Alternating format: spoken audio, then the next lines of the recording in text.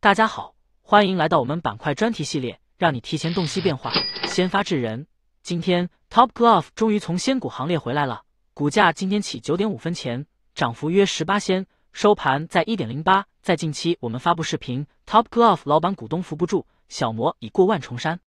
有分析过 Top Glove 的状况，一直跌跌不休，经历漫长的深跌，近期也跌破了小摩的目标，跌零点九九，被打入了仙股行列后。在苦苦挣扎了几天后，今天终于一洗颓势，早盘最低做到零点九八价位后，就开始逐步收复失地，逐步上攻，使近期一直卖压重重的 Top Glove 开始看到阳线，目前也没有再跌破零点九五历史低点，看来反弹有希望了。而其他的手套股也跟着回升，手套股四大天王 Hardtop 回升十二分，Cosm 回升八分，Supermax 回升四点五分，看来手套股板块已开始不像豆腐那般脆弱了。现在来看技术图，股价在前天收了一根小阳线，虽然继续创下历史新低点到零点九五，但收盘时是收阳线，股价先跌后起，显示还有一些支撑力量在顶住，而且价量齐升。昨天虽然收阴线，但股价没有再跌破历史低点零点九七，而且成交量萎缩，显示卖压已没有先前那么重。股价今天最低做到零点九八，也没有再跌破昨天的低点零点九七，而今天的阳线已突破近期的高点一点零三，是反弹讯号。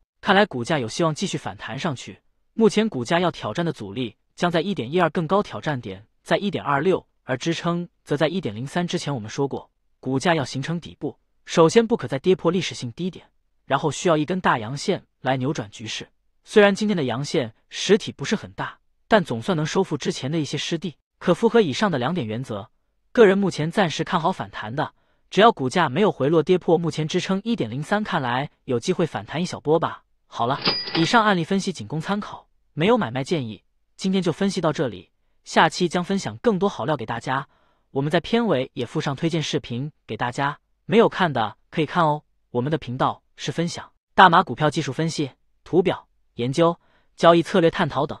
如果这支影片对你有帮助的话，请多多支持及点击订阅哦，谢谢。